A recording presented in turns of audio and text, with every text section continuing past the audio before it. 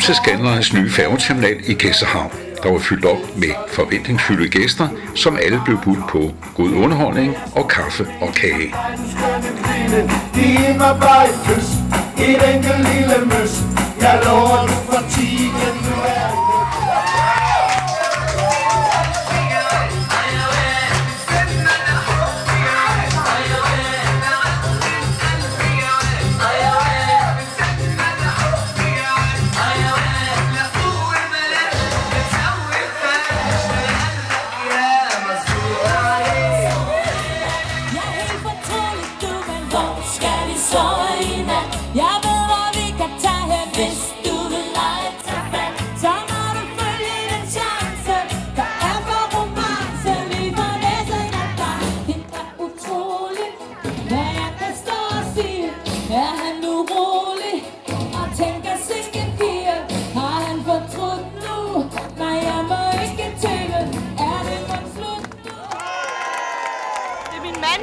mands, Gæsser er min mands barndomsby, og derfor har vi kørt hernede. Der plejer aldrig at ske noget som helst. Så nu skulle vi lige ned og have det lidt sjovt og se, at der kunne ske lidt i Gæsser.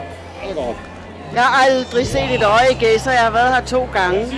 Og nu er der lidt mere end et øje. Der blev budt velkommen af den administrerende direktør af Scanline, Søren Poulsgaard, samt Scanlines tekniske direktør, Claus Nikolajsen.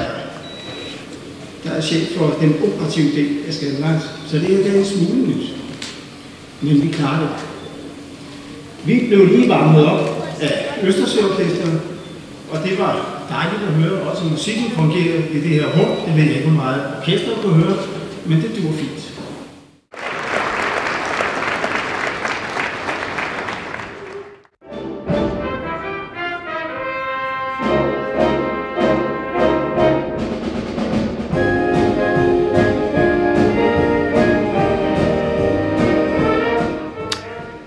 Østersøorkestret spillede op til de mange taler, og underholdningen var helt i top med stående bifald til Kurt Ravn, som fik minderne frem fra Matador-serien.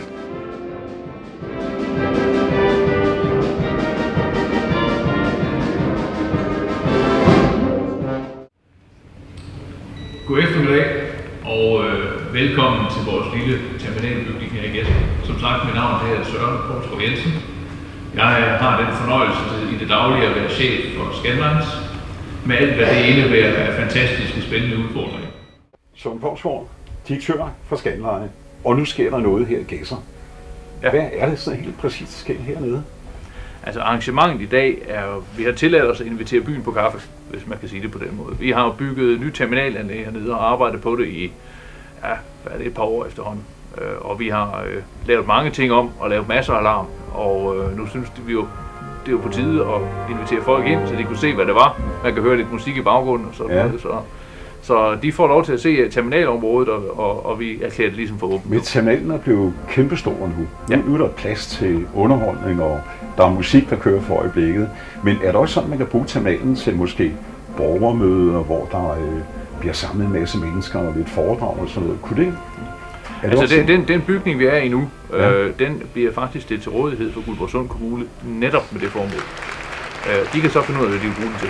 Øh, altså det, vi befinder os jo faktisk i den, øh, den gamle øh, gæsser jern, jernbanestation, som blev brugt til øh, Matador i sin tid.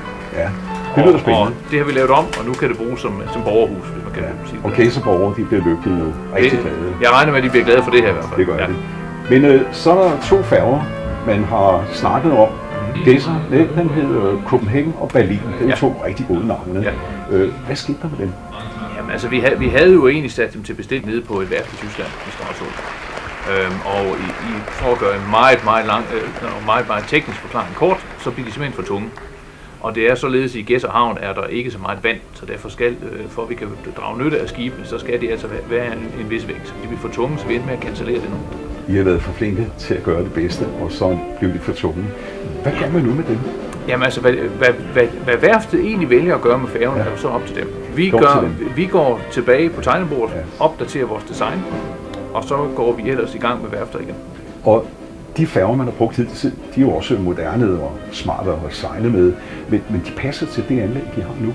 Det kan de. Altså det er ikke umiddelbart. Vi skal lige ind og pille lidt ved dem. Ja. Det er mindre ting, vi skal lave om ved dem. Altså de er jo lidt ældre damer efterhånden. De sejlede Ja. på Storebælt før. Og vi havde jo regnet med, at de skulle skiftes ud. Men altså, vi har jo så opdateret dem mekanisk, sådan at de nu kan sejle videre et par år og, og smukkeseret dem. Det virker, os. virker meget moderne, så de, Ja. de er på dupperne. Men der kommer nogle nye færger på et tidspunkt. Ja. Er I ved at forhandle om det? Nej, ikke nu, men det regner vi med, at vi går i gang med her de næste øh, par måneder. Men nu er det Så vi- så- nu er så vi- terminalen klar. Undskyld, ja, terminalen er klar. Ja. Og vi begynder at bruge den med de gamle færger, når vi lige får dem tilpasset lidt. Ikke? Altså, så vi regner faktisk med, at allerede i næste uge begynder de nye færger at sejle ind også. Det er en stor dag for dig. Hvad betyder ja. dagen for dig? Ej, jeg synes, det er spændende at nå det her milepunkt. Det, er- det, det har vi arbejdet på længe. Det er meget rart at ligesom få, få bundet knuden på den her. Og jeg tror egentlig også, det er meget rart for, for Gæs og By, at vi får det, får det gjort. Det har været en støvet proces. Vi mangler lige at bygge lidt skov op over mod, mod byen, Ja. og så er vi faktisk færdige. Og nu er det værste overstået. Du kan gå hjem og holde en god weekend nu. Det håber jeg. Tak skal du have. Ja, selv tak. Skanland hed dagens anledning booket skuespiller og sanger Kurt Ravn, også kendt som Røde fra Matador-serien.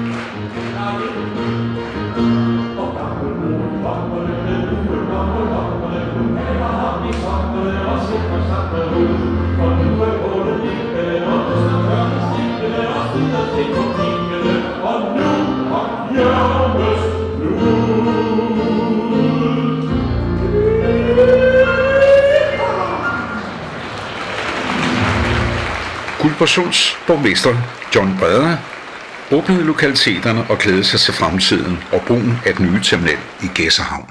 Borgmester for Guldborgsund Kommune. Du er nede i Gæsser i dag. Hvad sker der hernede i Gæsser, siden du er her? Jamen det var en fantastisk dag, fordi at nu indviger Scanlines øh, terminalbygning i Gæsser, som har været længe undervejs, må vi sige, men som jo er et ret stort projekt ud af, af de samlede 1,7 milliarder, som der bliver øh, investeret af Scanlines i, i Gæsser, og også øh, til dels i Rostock, hvor jeg hovedparten er jo to nye færger, men de 300 millioner stammer fra den nye terminal Og det var Berlin og Copenhagen, hed det, ikke? Det er rigtigt, det hedder de to nye færger. Men de kom ikke ud af sejlen, du for tunge. Ja, de var lidt Det var for tunge. ærgerligt. Ja. Og alle havde glædet sig til det, men der kom, vi har snakket med direktøren, der kom noget nyt. Ja. Øh, Man finder forhandler om noget. Ja. Men øh, Gaza er plejer at blive en ret stille by, men kommer der mere liv i den nu, tror du? Jamen altså, der kommer jo i hvert fald øh, den form for liv, at der er 1,7 millioner mennesker, der kører igennem Gæsser. Øh, og det var jo ikke sket, kan man sige, hvis ikke der var en Gæsser øh, rostock overfart. Og det, det handler om for os som kommune, det er jo selvfølgelig at få tiltrukket de 1,7 millioner mennesker. Bare 10 procent af dem, som drejer ind enten i Gæsser ja. eller i Guldborgsund Kommune for at opleve en handske eller et øh, turismecentrum på Marienløst, jamen så har vi sådan set en forretning i det også. Det er derfor, vi samarbejder tæt med Scanlines omkring og opgradere øh, også området øh, Gæsser samtidig med, med det terminalområde. Så jeg forventer mig meget af det. Og det er godt. Man ser, at terminalen er stor, der er plads til mange mennesker, og den bliver jo ivrigt brugt lige nu. Er der fyldt med mennesker, der Ja. ja. og musik og det hele. Men i fremtiden tror jeg, den kan bruges til, hvis øh, øh, Guldborgsund Kommune har et budskab, og man vil holde foredrag, så kan det foregå derinde. Jamen, jeg tror også, den kan bruges i allerhøjeste grad af gæsseborgerne, og de er jo om nogen kendt for, at, øh, som jeg også sagde i min tale, at når man kalder til samling, så kommer de talstærkt. Og øh, det, at de nu har fået, kan man sige, en forsamlingshus er det vel nærmest, ikke? Øh, hvor man øh, med en fantastisk udsigt over Østersøen jo kan afholde øh, forskellige arrangementer, og især musikarrangementer, fordi der øh, er en fantastisk akustik herinde. Det var. Det giver nogle muligheder for at promovere øh, Danmarks sydspids, og dermed Gæsser, og dermed Guldborgsund Kommune, og det glæder mig meget til. Godt. Jeg siger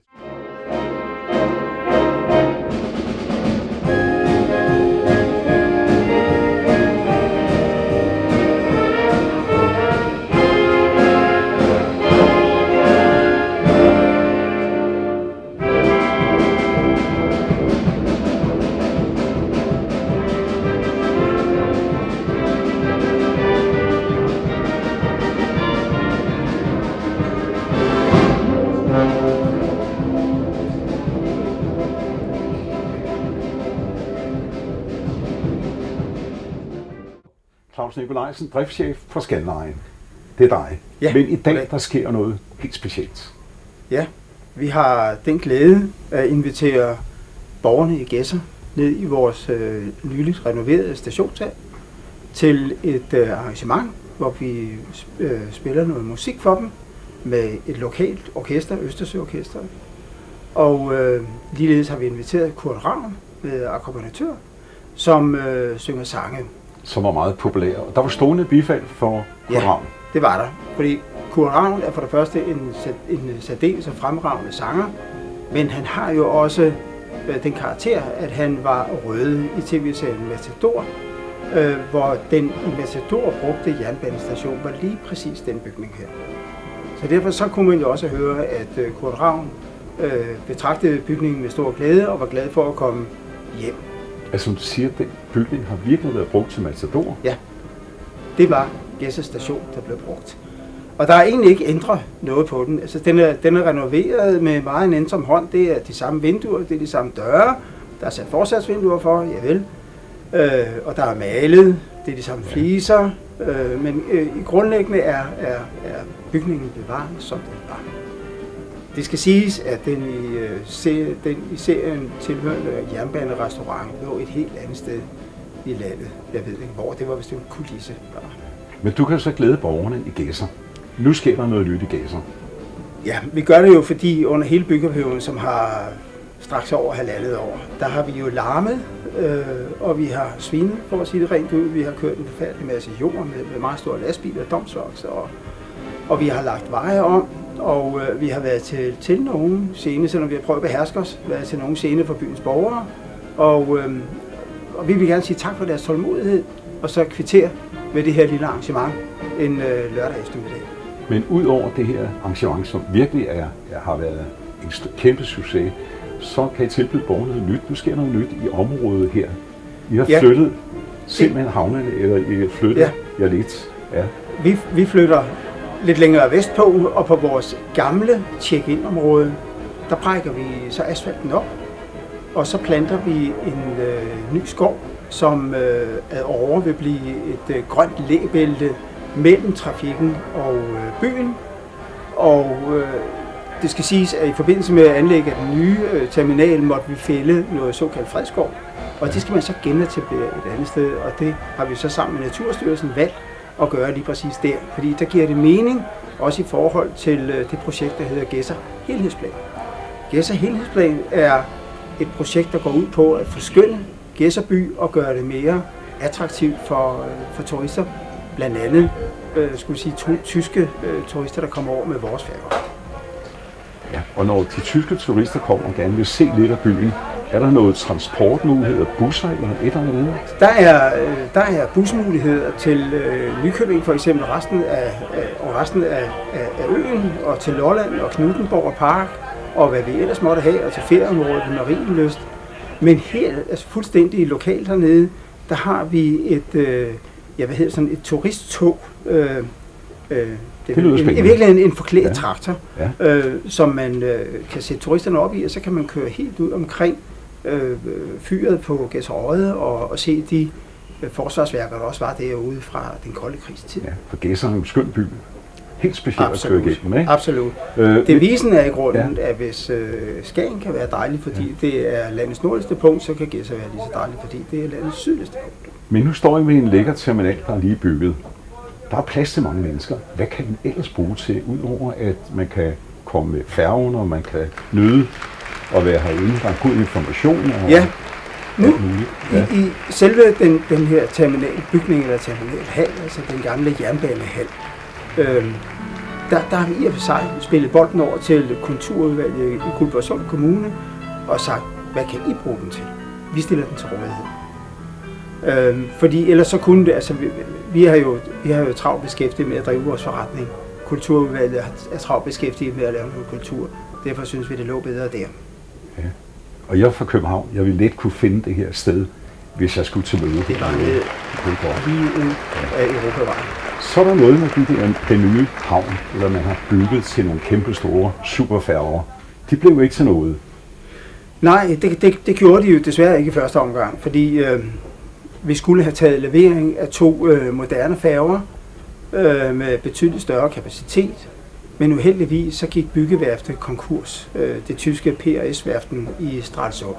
Okay. Og det var, det var et, øh, det var et kolossalt tab for os, fordi det udsatte jo simpelthen vores planer med tre år, hvilket er meget alvorligt, øh, synes vi. Og øh, vi gjorde egentlig alt, hvad vi kunne for at se, om vi kunne øh, redde stumperne, så at sige. Men det, det har ikke været muligt. Det, det er meget besværligt. Det er en kæmpe stor konkurssag. øh, der, der, der kører ned i Men Tyskland. kapaciteten klarer I med biler. Det kører. Ja, ja, det gør vi. Altså, Det lyder rigtig godt. det er jo markedsbaseret, og i den udstrækning, at de her færger, vi har, ikke er store nok, så må vi skaffe noget midlertidigt, indtil vi får leveret vores nye, nye færger. Så transporten er sikker. Transporten er sikret. Vi sejler stadigvæk hver anden time. Da dine lokker skjulte mig for verden Imens du druknede alle mine sår